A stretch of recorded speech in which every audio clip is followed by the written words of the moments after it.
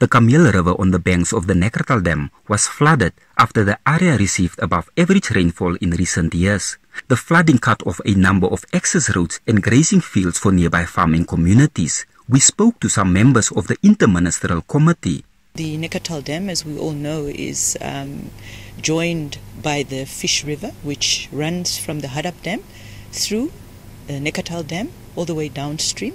So, as the water is running, we assume that um, fish populations also come down with this water and they then aggregate in the dam. That's one way. Another way, obviously, is once fish populations have then aggregated in the dam, we have breeding taking place. So, breeding has already started, and this will be evidenced by um, the research that the Ministry of Fisheries and Marine Resources is undertaking. It's very important that NAMUTA as an organization be part of this baseline study or the environmental risk assessment study just to sort of uh, give our expertise as well to the project and also see where we can as an organization also help out with the obviously the uh, inland fishery and then the surrounding communities in the area to also benefit from the Neckartal Dam.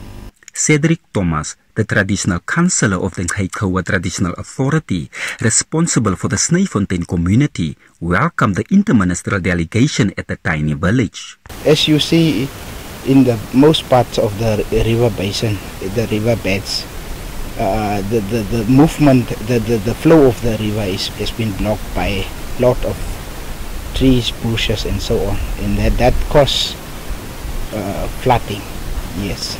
and that, that's still uh, something to be to be considered as well to, to clean the river.